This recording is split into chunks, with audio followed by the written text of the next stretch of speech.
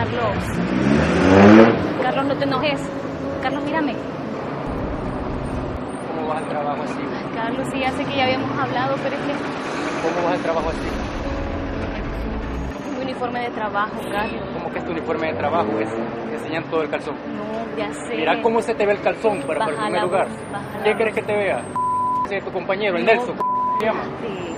No, no te pisto, hoy te da pena.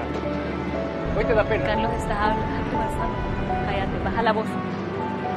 Y además, desde que yo trabajo en esa casa también no falta nada, porque tu dinero no Ah. alcanza, déjame. O sea, hoy que trabajas, la divina reina, uy, uy, uy, no se te puede decir nada, pues ya no, No trabajes. es eso. más, Ah, mira, que cállate.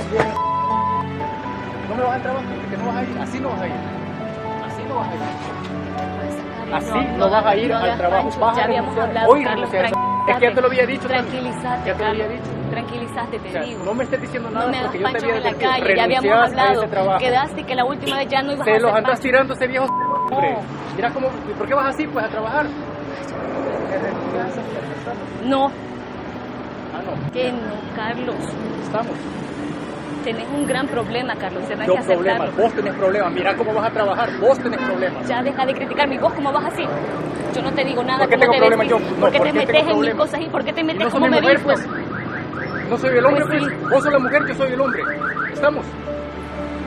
Pues sí, pero ¿Qué problema de qué? Vos no me mandás, ¿Cómo no voy a tener problemas si mira cómo vas a trabajar, ven? ¿Ah? La gente nos está viendo y A baja mí la... me la gente. Si a vos te va a hacia la calle, a mí también me ¿Estamos? ¿Qué problema tengo yo? ¿Qué problema tengo yo? Ay, ahora resulta. ¿Ah? ¿Qué problema Todavía te lo negas. Mira, baja la voz, cállate, baja la voz, cállate.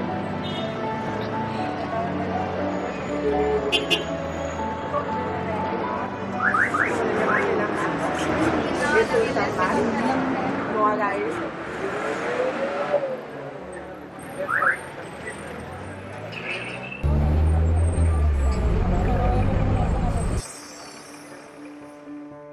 Este, yo me sentí asustada porque dije yo, y este hombre va a golpear a la muchacha aquí a medio público.